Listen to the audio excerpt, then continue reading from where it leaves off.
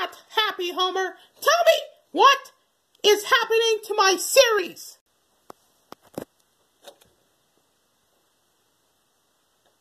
Well then, Thomas, I'll tell you.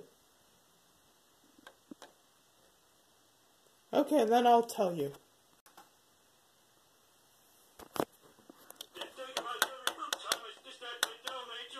What? Mattel made me worst? I think they did.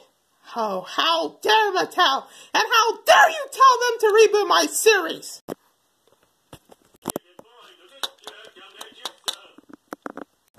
I had done this to myself? Really, Homer? Is that the excuse you give to me? All right, then. You're gonna get something. I am going to give you something like never before. Oh, no. Not again. What are you gonna do me? Are you gonna kill me? Exactly!